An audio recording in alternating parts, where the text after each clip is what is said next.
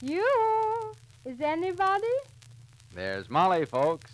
That means your friends, the Goldbergs, are here. Brought to you by Duz, the new kind of soap for everything in your wash. First, let's drop in on the Dozen family.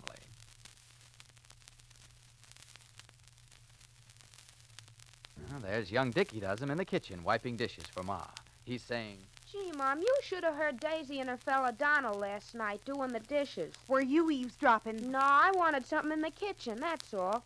They were pretending to talk about Duz. What's wrong with that, Dickie? Nothing. But Daisy said, Here, Donald, is that divine Duz. It's that new kind of soap for everything in our wash, and it has everything for dishes, too. That's what she said. She's right, Dickie. Duz make suds that stand up till the last dish is done.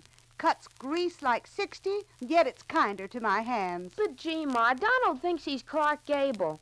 He says to Daisy, We'll Duz all our dishes, Dream Cake. You and me and those Duz suds'll stand up together through every last dish.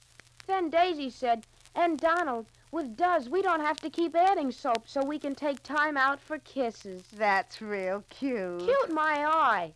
Then Daisy says, I won't mind the greasy pans because Duz zips through grease in less than half a minute. That's true. There's no hard scouring. And guess what, Ma? The big goon held Daisy's hands and said, Your hands are so smooth, Dream Cake. That's Duz, Dickie. It's kinder to hands. Sure, but Donald ought to be a caveman and say, Come on, woman, give these dishes their daily dozen. Well, caveman or Romeo, I want to say Ma's right about Duz for dishes. It's the only leading granulated wash day soap that gives you all this. Makes suds that stand up till the last dish is done, cuts grease like 60, yet it's kinder to your hands. So change to D-U-Z. It has everything for dishes. And now the Goldbergs. You know, in her quiet way, Molly Goldberg is a great adventurer. Not for distant places and African jungles, but in the remote regions and jungles of the human mind and heart. And so Molly takes great chances chances to save or help people who seem to be not worthy of any aid. Right now, she's in the process of trying to help Grace and George, the two who captured the affections of the Goldbergs and then tried to swindle them. Grace tried to pass herself off as Molly's new daughter in law. Seemed easy because Sammy was on his way overseas. But George has confessed that he is Grace's husband. And now, while Grace, unaware of this, still clings to her game, Molly is trying to help George help his wife, and the way lies through a greater temptation. There's a village meeting being held to discuss the problem of juvenile delinquency, and the head of the committee, the hero of it is, of all people, George. Ma. What, darling? Ma.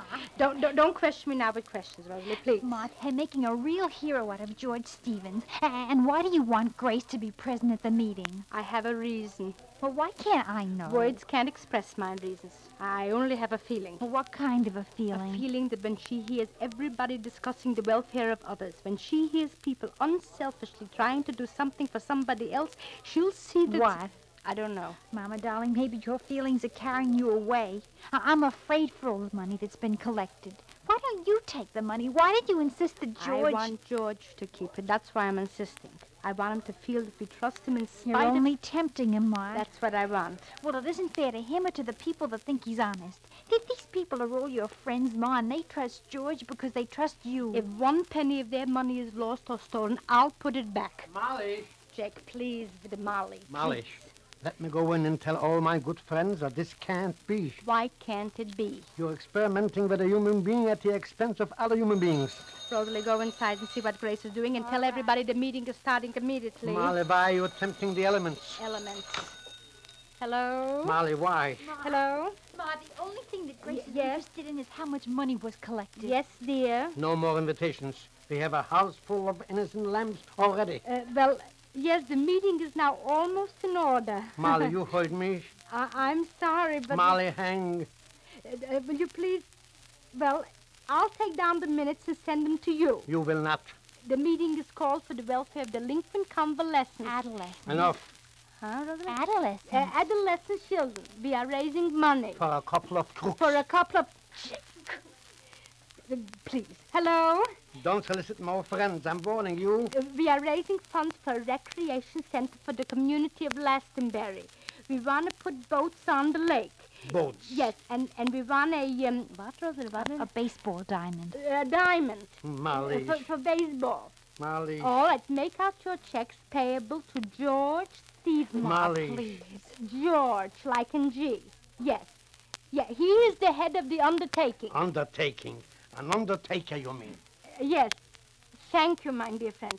And I will send you the minutes. Yes. Bye. Jake, please, must you... George? Uh, uh, George, you, you have to look for another check from Mrs. Cherry Blossom Green Lawn. Mrs. Goldberg, this is going too far. I'm glad to hear you say so, George. Mrs. Goldberg, I don't want to hold on to all this money. Then hand it over. Keep it, George, please. All I want to do is get away from here. But- I came here with Grace to take advantage of you people, George- and we've done enough harm. I want to get away now, and I want to take Grace with me before everybody in town knows what we are. I, I can't stand in front of those people and have them think I'm everything you said I was, when I know I'm nothing but a petty thief and even worse. Well said. I'm not trying to be humble or anything. I'm just trying to avoid making a worse mess of things than I've already done. And as far as Grace goes, I... Grace, uh, co- come in, come in here, dear. Come in here. The, the meeting is just about to start, and I think I'll call everybody in here, dear. I didn't know the attendance would be so overflowing. This room is bigger. Sit, dear, sit. the oxygen will be better to circulate here. Sit, darling. Excuse me. Come, Jake. Jake. Uh, help me call the meeting to order. George, dear, you straighten out the chair so everybody will be very comfy, and I want you to be comfy. I, I told you that Cherry Blossom Green Lawn was sending another check by the mail. Yes. You'll receive it. Jake, dear. Rosie, Angel. Yes? Come.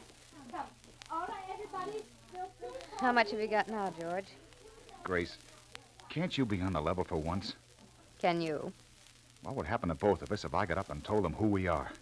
You wouldn't have the nerve. So you're really going in for delinquent kids? Why not? All kids are worth saving.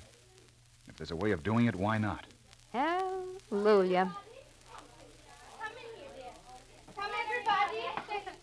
Come, dear. Everybody. I, I think this room will be a little more comfy. Be a little more comfy. Constable, Yes, you, you sit here, please, Constable. Thank you, Uh, thank you. Mary Foot, you'll be comfortable there. Uh, Rosalie, take off the cushion from that seat so Mary will be more comfortable. You're comfortable, dear? Everybody? Everybody sit, please. Uh, Jake, I'm all right where I am. you wouldn't hear. I'll hear plenty. Great, darling. Are you comfortable? Sit Yes, by me, darling. George, here, everybody seated? Uh, all right, dear. Um, now, ladies and gentlemen, we don't want to prolong. We don't want to prolong because I know everybody has to go home to do chores and they have to get up early. And I want to call the meeting to order. And, Constable, since you are the arm of the law and order, I think maybe you should open the meeting. Thank you, thank you. I I think you all know the purpose of this meeting. Indeed. Yes, but before I go on, I just want to say a few words about an outsider citizen, George Stevens. George Stevens. It, it was this uh, gentleman, Mr. Stevens, who brought to my attention the grave necessity for a recreation center for our young boys and girls. Indeed. Yes. And uh, I, I'm happy to see that you all have responded so generously with your dollars. Keep it up. Keep it up. Indeed. And um, if I can raise my hands for a moment, Why, please. certainly, Have Mrs. the floor. And, and Cherry Blossom Green Lawn that lives beyond on the White House, she just called me. She's very sorry she was delayed. She couldn't come. And she's also sending a check. Oh, that is good. Good, good. May, uh, may I say a word, Constable Newton? By all means, we want to hear from the ladies. I think it's all very well for you all to be so sure that with a few boats on the lake and a baseball diamond and some more nonsense, that you can save the wayward boys and girls. Well, that's a But now, now, just one minute. Now, if I'm wrong, let somebody show me where I'm wrong. I don't believe you can cure bad boys and girls. Why not? Grace, Uh, but, please. Why not? Because I believe you're born what you are, and so... That's what you think. Where were you brought up? Right here in Glastonbury. You don't even know what goes on right under your own nose. You don't want to know. Grace. I only know that the children brought up where I could see them were born good and grew up good. With a nice green lawn and a swell school and plenty to eat and good clothes and a chance to be free and decent. What a miracle. But your whole town isn't as rosy as that. Did you ever walk down by the river? If people didn't go snooping down by the river, they wouldn't see so much. Ladies, Well, ladies, now- And it please, let's isn't have only the poor kids from the river. I was out one night and I saw the kids hanging around the bars, and they looked like the kids from the better part of town. That's You're right. just full of the snobbery of being born on the easy side of the street. Well, let me tell you all something. Every kid that goes wrong is a crime committed by all the respectable and well-fed people in the community. You think it's easy to be bad? You think it's a pleasure? It's lonely and unhappy. It's terrible and bitter. And yet you have to keep on doing what you know is wrong because once you start, you can't stop. The lives you people live have walls about them. And people like. Well, people who have gone wrong are kept out forever. So don't let me hear any of this talk about people being born bad. Everybody's born the same, and they become just what society wants them to become. If you've got a town where no one cares about the next one, then you're going to have your children grow up into a disgrace, and you're going to have to like it. That all sounds very good, but it... There are no buts. The unhappiest people in the world are those who've been hurt by the people around them and driven under the sidewalks of the towns and cities. They don't know where to turn. They don't know where to look. And the kids are those who have been hurt the worst.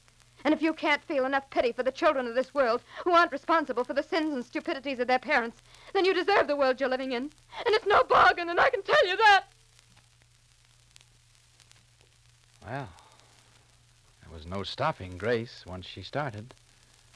And all the resentment she felt against the respectable world about her had a chance to pour out.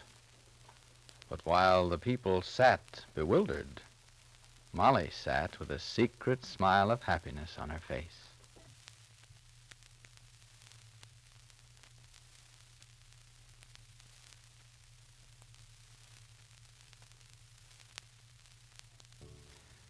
You know, it seems to me this quarter hour gives you a pretty well rounded picture of what a radio program should be. You get Molly Goldberg's heartwarming story, and you get some practical advice from the Dozen family, too. You know, like Pa Dozen says. You see, Clayton, Ma Dusum's worked plenty hard, bringing up two youngsters and doing all her own work. And that's why I want her to have all the modern conveniences. Like, for instance, Duz. Good for you, Pa. Yes, Duz certainly is a modern convenience. This new kind of soap does everything in the wash, from work shirts, towels, to pretty rayons. Yes, friends, compared to other leading granulated wash day soaps, Duz gives longer life to the nice colors you wash, plus unsurpassed whiteness for towels and real cleaning power for the dirtiest clothes. So make wash day easy. Let Duz do everything. And friends, remember, Duz, like all soaps, contains vitally needed war materials. So don't waste Duz. Measure it carefully into your machine. See to it every bit of Duz you use does more. Be sure to listen to the next episode of The Goldbergs, written for you by Gertrude Berg. Molly surveys her work with pleasure, but the world Grace spoke about gets a shot in across the rainbow. This is Clayton Collyer speaking and reminding you to do as the Dozums do. Let Duz, the new kind of soap, do everything in your wash.